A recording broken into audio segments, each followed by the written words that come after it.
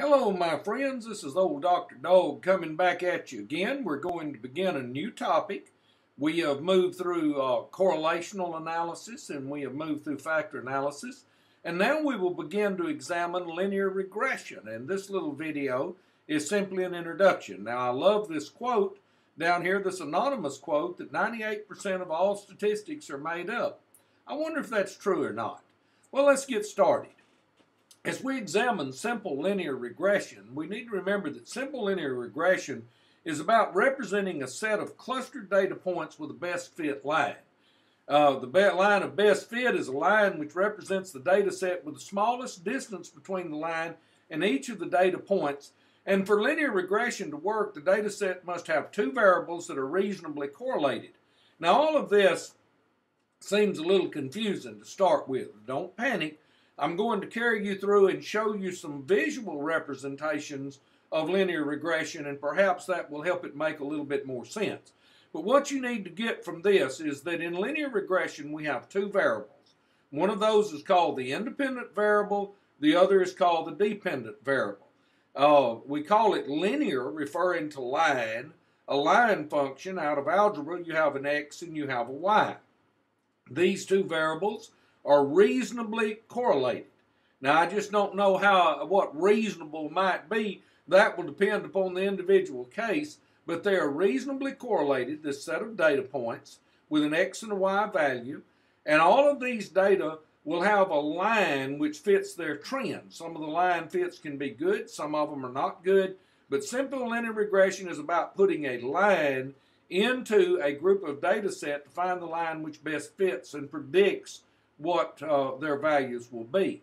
Now, in order to help you understand that, let's consider this, this data set just a minute. Here we have all of these points. This is the x-axis, this is the y-axis. Each of these little points has an x and a y value. If you look at this point and you come down to x, its x value appears to be about 2.25. Its y value appears to be 2. If you look at this one and you come down, its x value is right there, and its y value is right here. So each of these points has an x and a y value. Now, here's a line. That's what you do in linear regression. You put a line which best fits the data points. Now, look at the distances that are between the line and the data points. The goal of the best fit line is to make a line which minimizes these distances.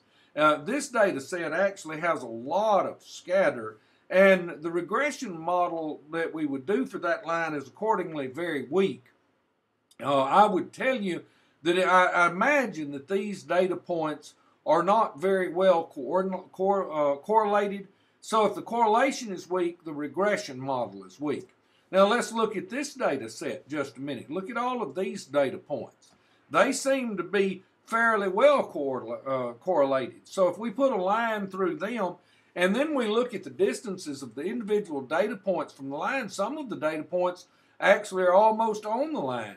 Others of them are just short distances away.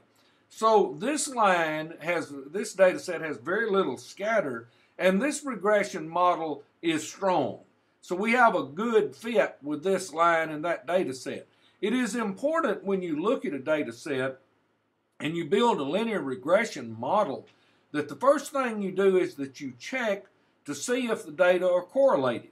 If they are not correlated, then, then your linear regression model is extremely weak and may almost be meaningless.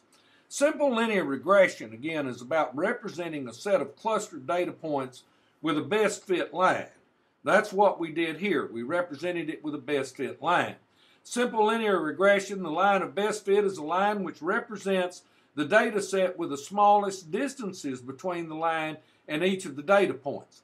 Now we could draw a lot of lines, but this line minimizes these distances. And for linear regression to work, the data set must have two variables that are reasonably correlated. Now, I want to thank you again for your support. Don't give up on me. This was just a brief introduction. We have a series of other lectures in which we will develop the concept of linear regression more in depth. As in the words of the old Vulcan, peace and long life, no, live long and prosper. You got it. Have a good day.